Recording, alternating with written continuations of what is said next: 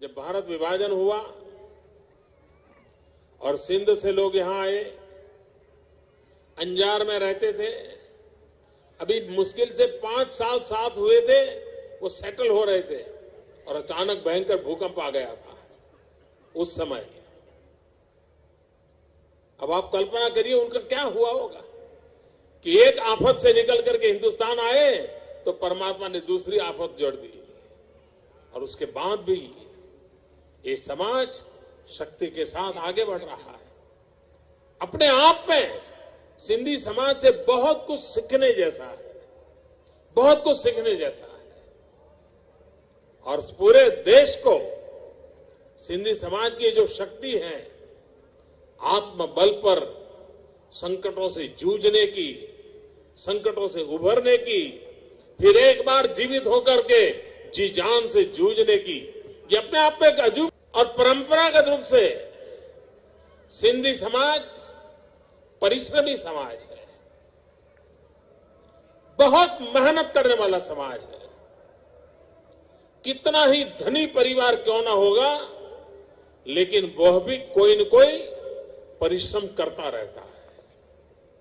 वो ऐशो आराम की दुनिया में फिसल जाने वाला समाज नहीं है।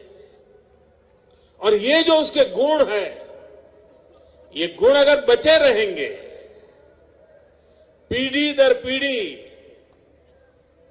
इन गुणों की विरासत अपने बच्चों को मिलती रहेगी तो सिंधी समाज को कभी संकट नहीं आने वाला। कोई संकट उसको झुका नहीं सकता है। कितनी भी भयंकर समस्या आई होगी, वो उसको झुका नहीं सकता। लेकिन आज कभी सिंधी परिवार में जाता हूँ तो बच्चे पास्ता और पिज्जा के आसपास चलते हैं तो मेरे मन में करता है, यार, मीठा लोला, तीखा लोला है कहाँ चल रहा है?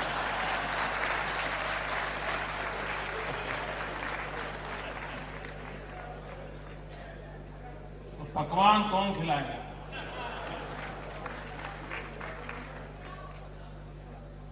आप सोचिए चला जा रहा है। मेरे सिंधी परिवारों में से ये सब चीज़ें नष्ट हो रही हैं।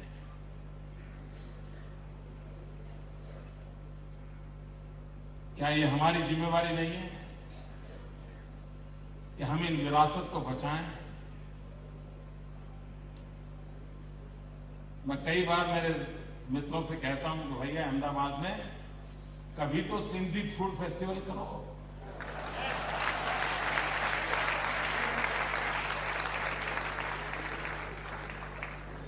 ये नरेंद्र सारी दुनिया को खिलाता है, लेकिन वो सिंधी खाना नहीं खिलाता।